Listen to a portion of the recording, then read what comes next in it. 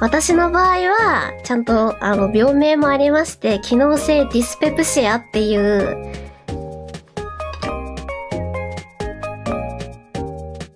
あの、病気だ、みたいです。はい。病気っていうか、なんだろう。あのー、あれやで、ま、胃カメラとかして、もう全然、なんだろう。病気も大きい病気もなく、な、なんだろう。もう最終的にたどり着く。病名？だからまあストレスとか、ストレス、まあ、生活習慣とかそういうのが関係も自律神経とか、生活習慣も言ったな。まあ、ストレス。そういうのの、が原因だったりする病気ら、胃の、胃の病気らしい。なので、その、だから感知がわかんないのよ。だから、こうやってちょっと、いろいろ試してみて、最初の方はさ、こう、ちょっとずつ配信していって、できる時にしていこうっていうスタンスを取ったんだけど、よくなんなくて、だったら、そう何が原因かわかんないからね。じゃあ一旦、配信も丸ごとお休みしてみましょうっていう、ゾーンに入ったのね。だから、全くツイッターもまあそういうお知らせ系以外動かさないし、配信もしない期間を設けたの。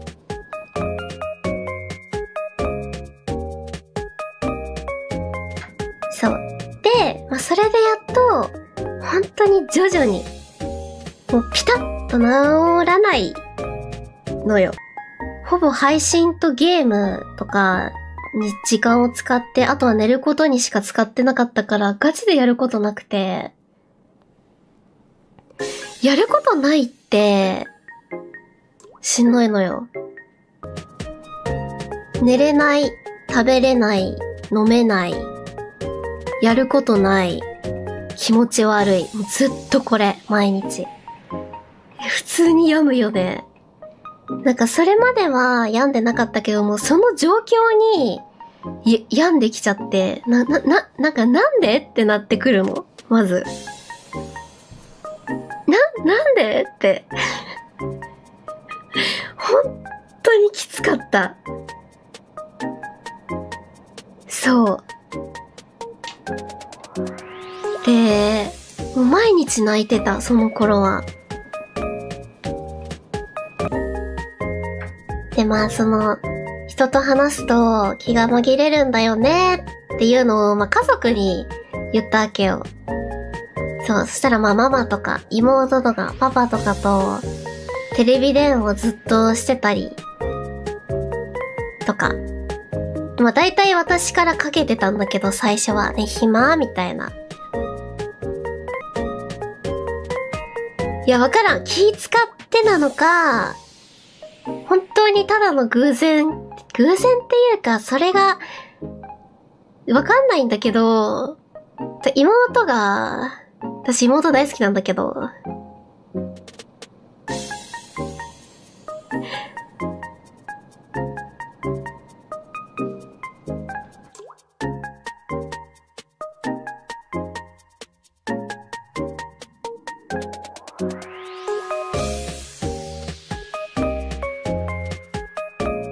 妹がね、毎日、電話を、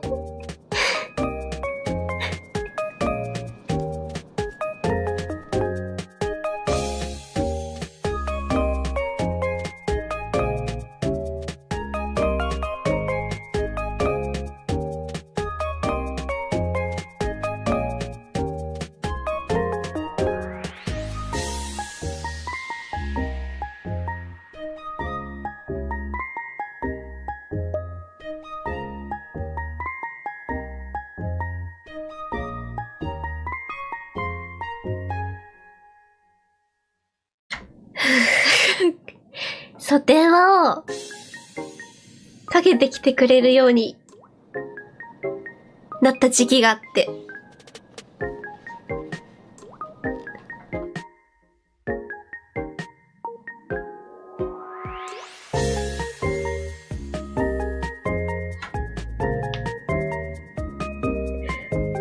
ごめん待って、喋れないや、待ってね。えーっと、そう、それで、まあ、もともとめっちゃ仲いいのよ、うちの姉妹。